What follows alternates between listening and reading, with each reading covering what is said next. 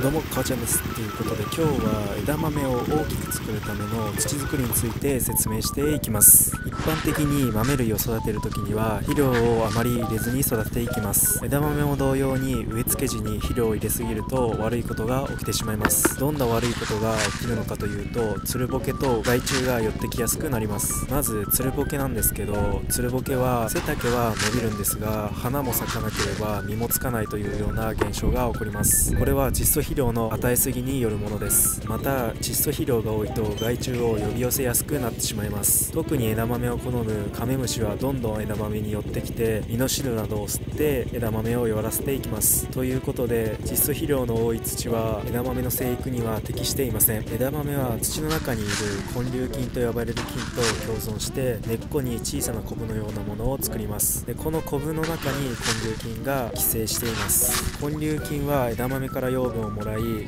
粒菌は空気中の窒素と糖分を肥料として枝豆に与える関係ができています。肥料の与えすぎはダメだということを覚えておいてください。今日はその土の見極め方と肥料が多い土の対処法について説明していきます。それでは行ってみましょう。4月までにチャンネル登録1万人目指しているのでまだしていない方はぜひチャンネル登録お願いします。でこちらは種をまいて育てていた枝豆です。もうすでに本葉が出てきて新たな芽も出てこようとしています。まあこんな感じであらかじめに育てておくと早めに植え付けができて早めに収穫ができます。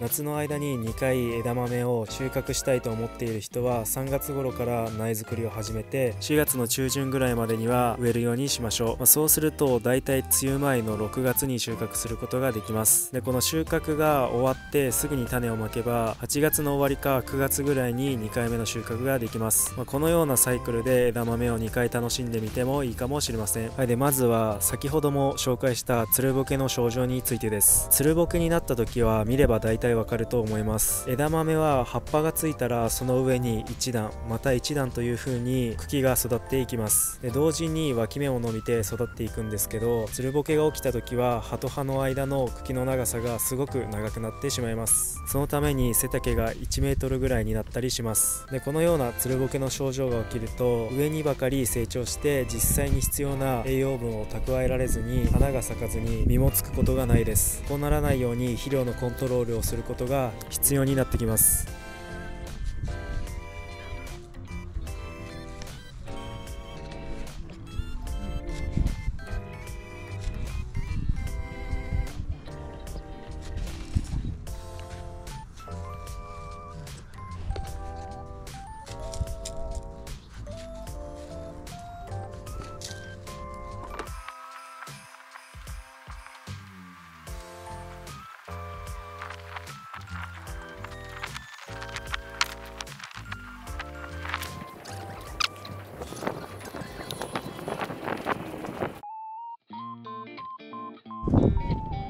土にどの程度の肥料分があるか検査をしてみましょう。農家の方はだいたい土壌検査といって畑の土を検査してもらっています。その時に出た値をもとに肥料の量の調節などをしています。家庭菜園などでしている方はもっとお手軽に検査したいと思うので、まあ、みどりくんっていう検査キットなどがあるのでそちらを使ってみてもいいかもしれません、まあ、概要欄にリンクを貼っておきます。で検査してみて土に肥料分が多く残っている場合にはその栄養分を一気に畑から抜くっていうことはできません。野菜を栽培し続けて肥料を吸収していくのを待つしかないです。これにはかなりの時間がかかるので裏技を紹介します。その裏技とは今まで何も栽培していない畑の隅にある土を持ってきて混ぜることです。この何も育ててなく何も入れていない土を持ってくることによって多少は肥料分がばらけてくれて平均的な値になってくるはずです。で長い目で見た時はいろいろな野菜を栽培して土の中の疲労分を徐々に落としていくようにしましょう。で僕の畑ではマルチをかける幅でまず化成肥料をまいていきます。でその後にこの油かすをまいて枝豆を育てるようにしています。